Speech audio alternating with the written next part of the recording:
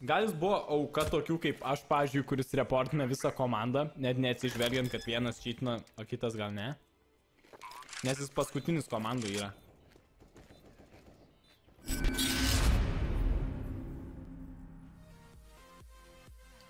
Ok. Vaka klausiu, tu full time gali pragyventi streaminant ir sponsorių? Šiaip tiksliai pabrėžiai, kad ir sponsorių, tai jo. Viperis Viperis labai maldės, GGBetas labai maldės, dabar nesnei kontaktavom, kad gal bus daugiau dalykų. Jeigu matėte tą postą, kad tipo Twitter'į rašiau, kad mane pavadino favorite partner, tai aš ten biškai taip perdėjau, kad sakau, aš esu favorite, bet jie man actually rašė, kad aš esu vienas jų mėgstamiausių partnerių. Nes, tipo, jie mato, aišku, kad jūs statot kai kurie naudojatės progo kodais, nes kaip ir bebūtų durnas mitas, kad čia daug vaikų žiūri ir panašiai, bet šiaip taip nėra CSGO ir šiaip CS, o Hebryti, taigi 20 metų su CS yra tikrai daug žmonių, kurie nuo seno, nuo vaikystės žaidžia ir yra vyresni. Ir actually statote naudoja GGBetą, tai va GGBetą mūsų santykiai labai faini yra.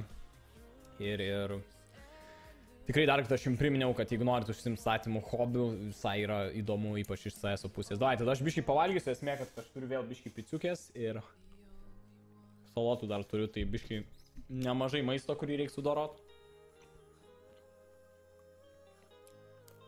Nueisim dar overwatchą.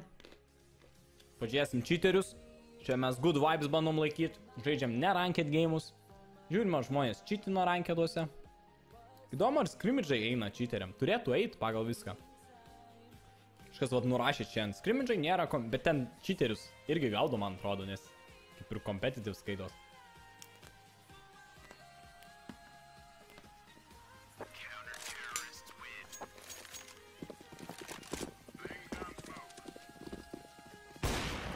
Ačiū, kas mandagus, skanaus linkit.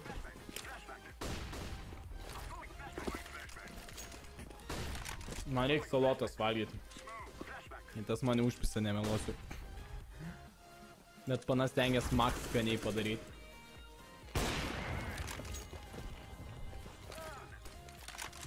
Man reikia irgi pačiam bent akim žiūrėti, tipo.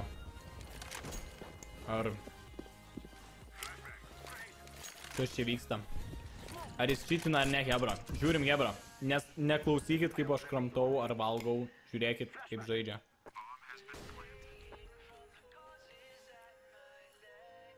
Aš bandau salotas tvarkingai valgyti. Kiek ten lėkštėjai? Nu ten tokia krūvelė solidi, labai daug pekino salotų.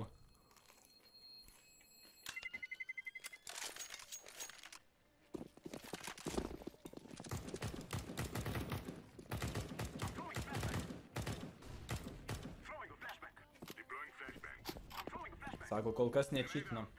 Ar čia bus vienas iš tų retų gėjimų, kur žmogus rimtai nečytina? Aš neatsimenu, kada paskutinį kartą daviau nečytinio statusą. Kelintojais vietoj? Jis actually paskutiniai vietoj, Hebra. Jis net nėra kažkoks labai geras, bent jau dabar iš tų kelių raundų.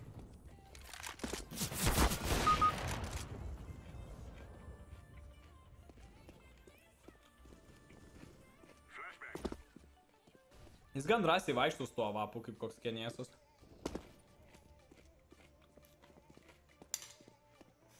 Gerai, aš gal ir picos pasimsiu, nes aš jau labai... Tiesiog noriu pabaigti salotas. Gal kažkas irgi taip valgo, jeigu yra neskani dalis maiste. Jūs ją suvalgot, tiesiog sukandė dantis. Ir tada perinat prie skanios ir net pamiršto tada.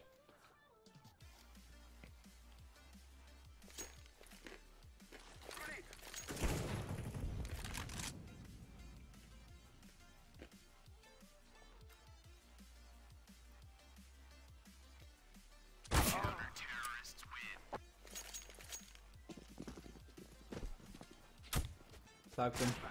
E, Vitalijus dabar seka žaidimą, sako, ką tik keistai nušovė, man rodos pasinė Valhakas autobotas. Bet taip pat tik buvo klaš situacija ir jis pralaimėjo, tai dabar irgi tik mirė. Tai net nežinau. Dėl vieno momento įvertinti.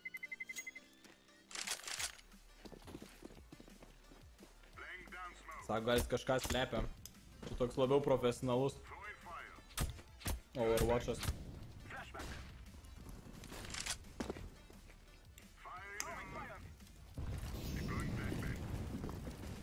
Aš toliau prie salotų grįžtu.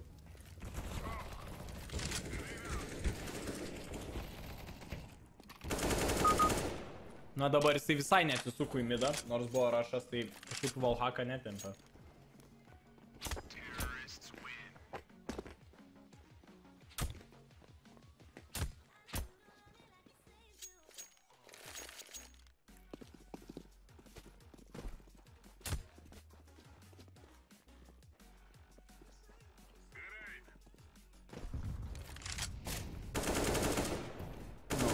Nu va, lygtais taiklumo nėra.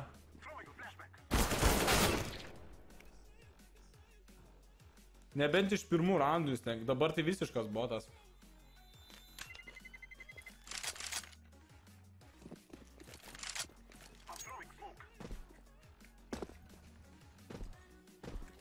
Aš džiaugiuosi, džiaugiuosi kad CS mums duoda actually raundų, nes kartais būna kokį 3 raundai, va tokius reikia spręsti. Tai gal jau šeštas raundas.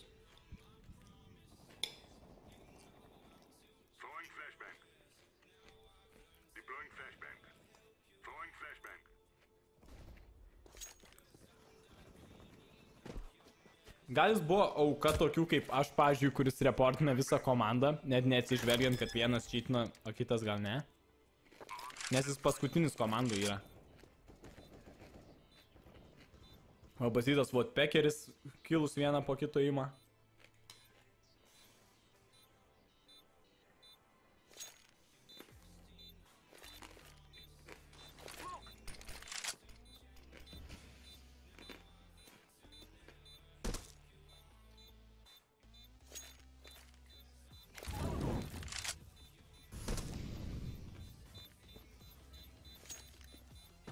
Labai taiklus molotovas.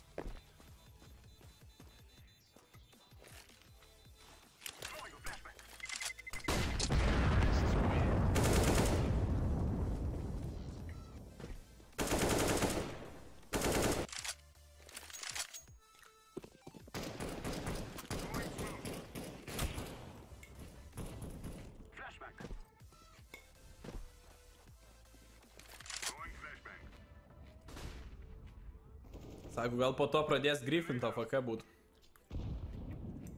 Mes nemanau, kad tiek raundų pamatysim. Aš nesu dar matęs Overwatch'o, kur žmogus būtų AFK. To tiesiog nerodo, nežinau. Taip, kad pilnai stovėtų. Nes tokius dažniau kikina. Nu, ne tai, kad jos reportintų ar ką.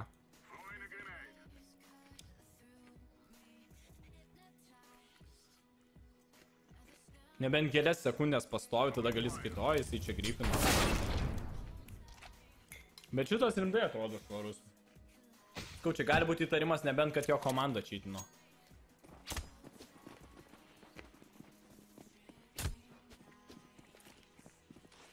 Ką ten valgai? Pickės? Čia dar salotos.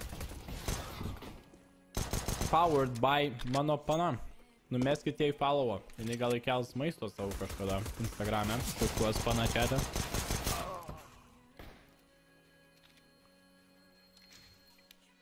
Jinai actually galėtų būti streamerė, kuris streamintų kaip gamina speksų maistą. Kol aš streaminu. Aš manau, jinai rinktų žiūrovų. Ir rimtai virtuviai kamerą pastatyti.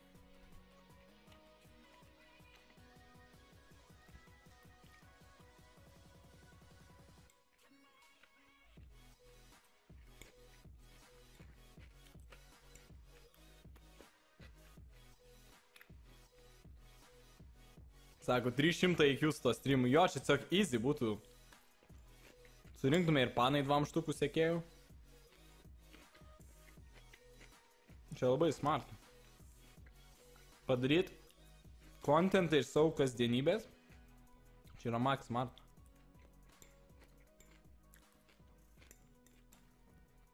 Ir yra, actually, jinai plus galėtų į Twitch eit. Ten kaip tik panų daugiau.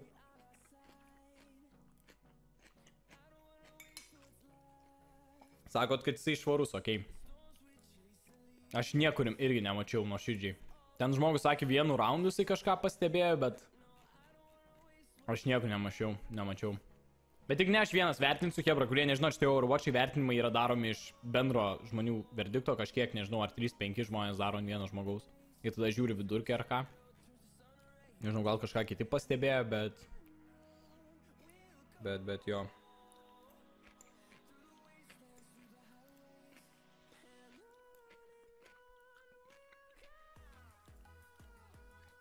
Sako, moka slėpti wallhacką. Nebent jis buvo paskutinis komandai, kuris per komunika komunikaciją sakė visą info.